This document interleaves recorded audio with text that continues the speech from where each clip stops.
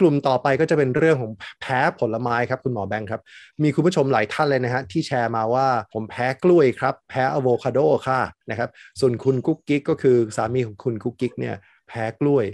แรกๆก็แพ้กล้วย หลังจากนั้นก็เริ่มแพ้ทุเรียนไม่ต้องกิน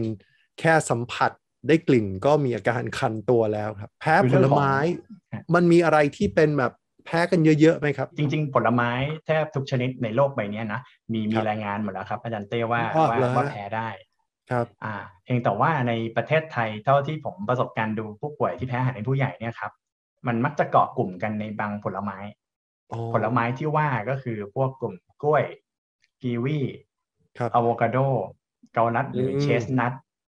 จะเกาะกลุ่มกันกันอยู่ในประมาณนี้ครับ ซึ่งถามว่าเอ้เราไปแพ้ไอ้พวกนี้ได้ยังไง ทั้งที่ก่อนหน้าเราก็กินมาได้ตลอด อย่างบางคนเขาทานกล้วยก่อนไปออกกำลังกายก่อนไปวิ่งอะไรใช่ไหมครับ วันดีคืนร้ายอยู่ๆกลายเป็นว่ามาแพ้กล้วยขึ้นมาแบบแพ้รุนแรงด้วยนะฮะ เช่นว่าเออกินแล้วผื่นทั้งตัวหายใจไม่ออกหมดสติไปกลไกปัจจุบันก็คือถ้าโดยหลักการเนี่ยมันก็เป็นภูมิ IgE นี่แหละเพราะปัจจุบันเรามีหลักฐานแล้วเราเจอโมเลกุล IgE ที่มันจับต่อพวกโปรตีนในผลไม้ได้แล้วแต่ถามว่าเอ๊ะทำไมมันมาเป็นเรา ตรงเนี้ยยังไม่มีคำตอบชัดเจน ครับ มีบางคนไข้บางกลุ่มที่เขาแพ้สารบางอย่างที่มันไม่ใช่อาหารเนี่ยนำมาก่อน จากนั้นเขาถึงค่อยมาแพ้ผลไม้ อ่า ฟังแล้วอาจจะดูแปลกนั้นสารนั้นสารนั่นคือลาเท็กซ์ครับ อาจารย์เต้ลาเท็กซ์คือยางเนี่ยเหรอครับ ก็คือยางกาวอย่างเงี้ยเหรอครับ อ่าพวกยางกาวอย่างที่เราใช้ในตามถุงมือทางการแพทย์ใช่ไหมครับ ครับ อ่า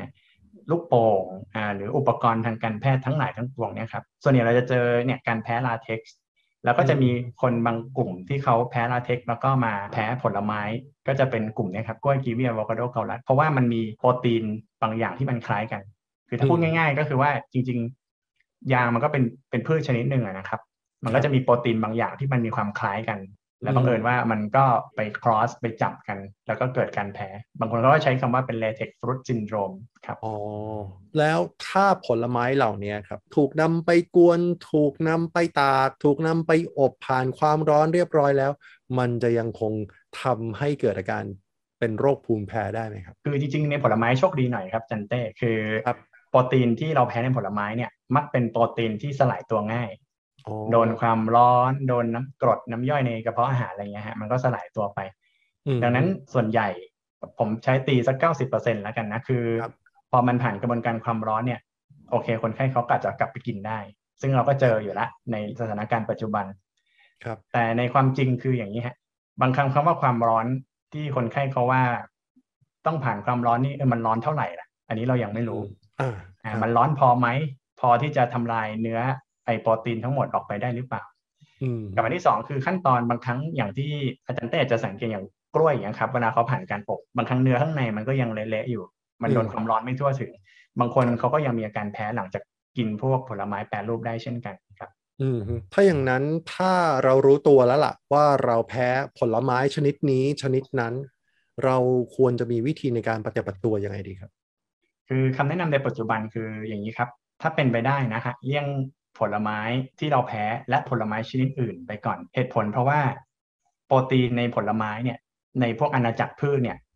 มันดันมีความคล้ายคลึงกันในอาณาจักรคือแทบทุกทั้งคิงด้อมของพืชนะมันจะมีโปรตีนที่เกาะกลุ่มกันค่อนข้างคล้ายกันมาก ซึ่งอันนี้มันจะเป็นประเด็นที่ต่างจากโปรตีนที่เจอในพวกสัตว์อย่างสัตว์เปิดแข็งมันก็จะเกาะกลุ่มในสัตว์เปิด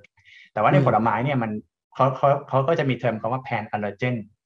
โมเลกุลโครงสร้างมันคล้ายกัน ดังนั้นภูมิเราถ้าจับกับผลไม้ชนิดหนึ่งมันก็มีโอกาสที่จะจับกับผลไม้ชนิดอื่นๆตามมาได้เช่นกันแต่ถามว่าเเขาจะกินผลไม้ชนิดอื่นได้ไหมผมมักจะแนะนำว่าควรผ่านการประเมินโดยแพทย์เฉพาะทางด้านด้านภูมิแพ้ได้จะดีกว่า เพราะเพราะเราไปลองกินเองที่บ้านบางครั้งเราอาจจะเกิดความเสี่ยงที่จะแพ้ที่บ้านได้นะครับ ครับ